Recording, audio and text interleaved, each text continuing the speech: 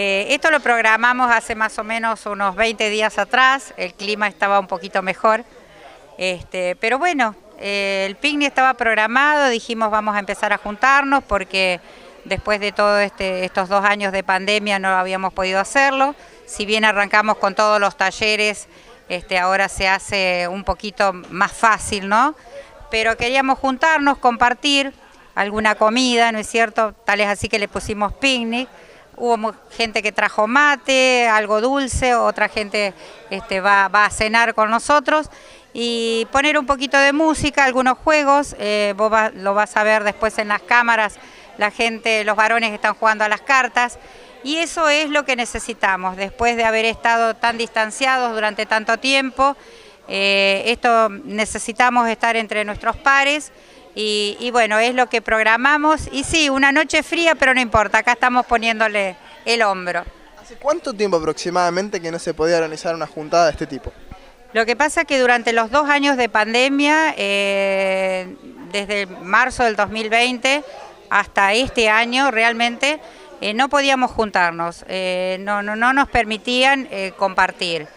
estaba para todos iguales, pero para el adulto mayor era como que cada vez se complicaba más. Entonces a partir de este año, a partir de marzo arrancamos con todos los talleres y bueno, y hoy decidimos hacer esto, que era, es un picnic, ¿no es cierto? Y tratar de estar y charlar y divertirnos un poco y ya vamos proyectando para el futuro, tenemos proyectado para ya para el Día del Amigo, realizar un té que a medida este, vayamos dándole forma, los vamos a llamar para que, para que ustedes se informen. Muy bien, dándole un poco de lucha al frío, pero ¿qué? ¿Se toma unos mates? ¿Qué se toma? Sí, cada cual trajo lo suyo, ¿no es cierto? Algunos trajeron mate, otros se trajeron su vinito y están jugando las cartas, tanto las chicas como los chicos, porque digamos, nos tratamos de chicas y chicos. nos sentimos todavía jóvenes, ¿no es cierto? Y bueno, ahora van a poner un poquito de música, el que quiere bailar baila. ¿Extrañaban un poco todo esto? Extrañábamos, de, pero con locura todo esto, porque estábamos todos los días, teníamos una cosa que la otra, y, este, y se nos cortó todo de golpe, todo, porque no podíamos ni venir, estaba todo cerrado. Y se extraña, porque nosotros los grandes lo que tenemos es eso, que lo único que nos queda es compartir que nuestras ideas, estar juntos. Y en fin, se nos había cortado todo. Y ahora, gracias a Dios, estamos recuperándonos un poco. Están todos los talleres, que gracias a Dios está todo completo. Eh, e incluso aquel que quiere seguir viniendo, eh, quiere incorporarse a los talleres, hay algunos lugarcitos todavía. Está todo completo, pero siempre está aquel que se va quedando porque hace frío, una cosa u otra, y en fin, está todo invitamos a todos a que vengan a reunirse, a todo aquel que quiera eh, practicar un deporte, gimnasia, yoga, eh, vamos a incorporar eh, folclore, en fin, todo lo que puede hacer un adulto mayor. Tienen memoria también.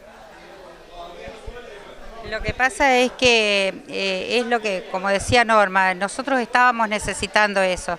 Y hay gente que lo ha necesitado mucho más, porque justamente mm, mientras íbamos llegando y nos íbamos juntando, hay gente que, mm, que, decía que durante toda esta pandemia no ha salido. Depende cómo uno lo fue tomando.